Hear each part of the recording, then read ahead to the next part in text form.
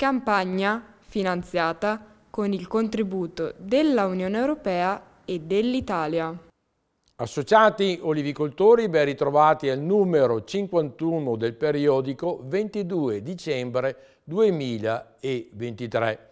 Siamo entrati nel periodo invernale, iniziato proprio ieri 21 dicembre. Le piante sono in fase di riposo vegetativo e la raccolta delle olive si sta ultimando.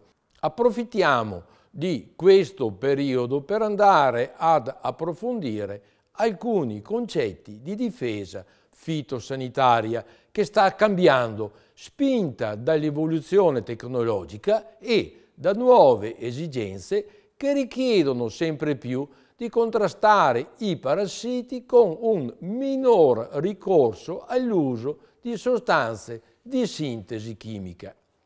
A questa necessità si aggiunge il cambiamento climatico, particolarmente in questa annata, con estati molto calde, con mancanza di pioggia per molto tempo, con malattie causate da agenti patogeni che ci sono aggravati proprio in questi ultimi anni e che si adattano più facilmente delle piante di olivo. In quanto alle singole malattie, sono importanti pertanto le conoscenze e una loro identificazione e i legami che legano la pianta dell'olivo a queste malattie perché è sempre più richiesta un'attenta professionalità e un'attenzione anche perché le proposte legislative della comunità europea tendono a ridurre nei prossimi anni del 50% dei prodotti fitosanitari e perciò sta influenzando i programmi di difesa e sono così in fase di applicazione strategie di contrasto ai parassiti con l'utilizzo proprio di sostanze di base. Ma che cosa sono queste sostanze di base? Sono prodotti che esercitano azioni di difesa ai parassiti anche se il loro uso principale non è come prodotto fitosanitario. Purtuttavia, se impiegate, possono svolgere benissimo funzioni come repellenti, come insetticidi, come fungicidi, come stimolatrici dei naturali meccanismi di difesa, come ad esempio noi possiamo trovare la birra, il chitosano, il carbone vegetale, il bicarbonato di sodio, oppure le oleine vegetali. Abbiamo poi i prodotti da biocontrollo che non sono dato altro che da funghi, che da batteri e che da insetti che vanno a contrastare o eliminare la vita di agenti patogeni dati proprio da batteri, da funghi e da insetti che vanno a causarmi delle malattie alle piante dell'olivo. Quali sono? Ad esempio il tricoderma, il Bacillus thuringiensis, la Boveria bassiana, il Bacillus subutilis. Perciò la difesa dell'ulivo sarà sempre più orientata a integrare la difesa chimica di sintesi, peraltro sempre più sfoldita dalle nuove normative, con questi prodotti di base e prodotti da biocontrollo. Vi riportiamo in forma molto schematica quelli che abbiamo attualmente a disposizione, proprio per crearci una mentalità per affrontare il 2024 avendo già ben chiari i prodotti fitosanitari disponibili.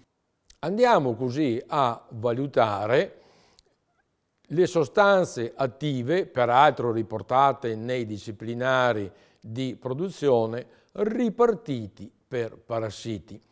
Troviamo così i parassiti fungini per l'occhio di pavone, per la lebbra, per la piombatura, altri parassiti che il prodotto principale o il prodotto principe sono le sostanze che contengono lo ione rame, pertanto i prodotti rameici, che è presente un po' su tutte le attività di contrasto ai parassiti.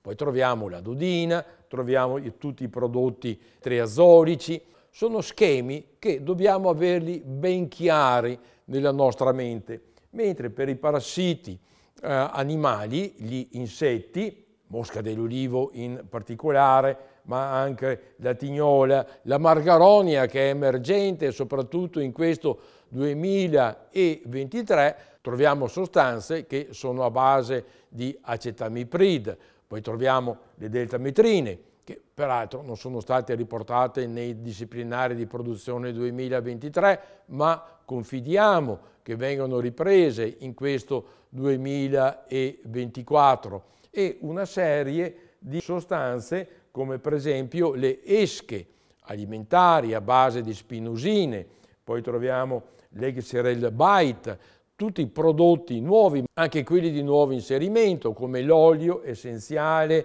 di arancio che è stato inserito già nel mese di agosto per 120 giorni, ma che confidiamo che venga ripreso anche nel 2024. Sostanze attive che vanno a contrastare i parassiti, ma devono essere utilizzate dopo una attenta analisi che va effettuata con un'attività di monitoraggio perché non abbiamo più le vecchie sostanze attive tipo i fosforganici che avevano un largo spettro di azione, potevano essere utilizzate anche in periodi non particolarmente contenuti. Queste nuove sostanze attive vanno usate in maniera molto oculata perché se vogliamo attivare un'attività di contrasto specifica contro i parassiti. E naturalmente non dimentichiamoci che abbiamo anche insetti che, sebbene presenti nel nostro territorio già da anni, con questi cambiamenti climatici diventano sempre più aggressivi. Abbiamo già visto la margaronia, ma abbiamo la cicidomia e poi soprattutto abbiamo la cimice asiatica, dove sembra concorrere notevolmente anche nella cascola verde delle olive.